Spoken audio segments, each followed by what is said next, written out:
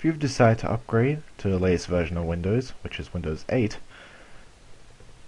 um, and you wanted to keep the older Windows 7 as well on a separate partition, uh, you may notice when you try to uh, boot Windows, you'll see this new fancy bootloader um, that uh, never used to exist, and it's a really it's a pain in the butt to navigate. Uh, I, I personally prefer the old one, and that's what I'm going to show you how to enable today.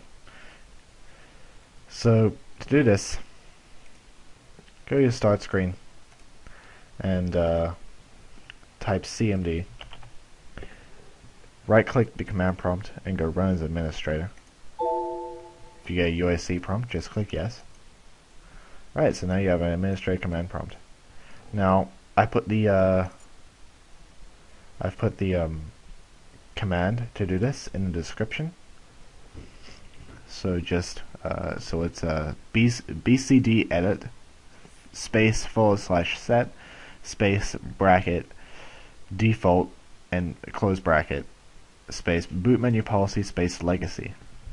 Hit return or enter in this case. The operation completed successfully. So now we are going to show, see the actual bootloader um, work in Windows 8. Okay, now we are ready to reboot. So we just uh, reboot for you guys.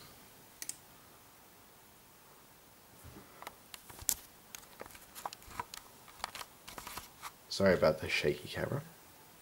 I do not own a tripod.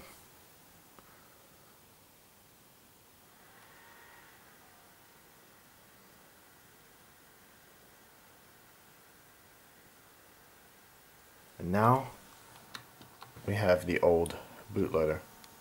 So we can choose between Windows 8 and Windows 7. Let's go back into Windows 8 because that's what I, that's what I mainly use. And yeah.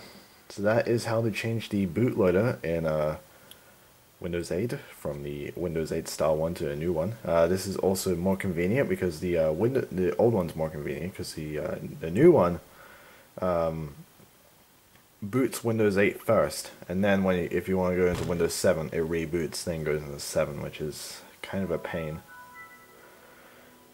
But the older style one doesn't boot anything, so um, it lets you choose what to boot first. So that is a tutorial on how to change the bootloader in uh, Windows 8 to the older style one. Thank you for watching. Uh, please leave me a thumbs up, tell me how I did, because this is my first tutorial in about two years, nearly. So, tell me how I did, and thank you for watching. Feel free to leave a comment if you have one.